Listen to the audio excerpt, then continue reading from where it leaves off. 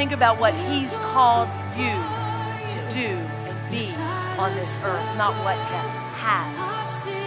Man, I want a group of women that's willing to live their lives with passion where you don't have to apologize for the way that you're living because you're firm on the foundation of Jesus Christ. Your passion isn't my passion.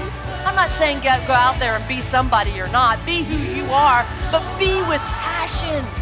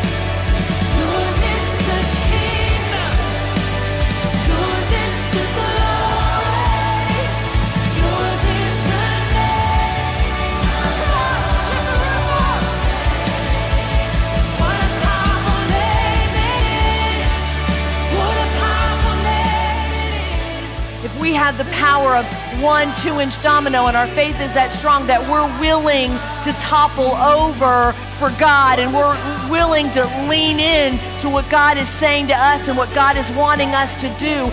The power of one.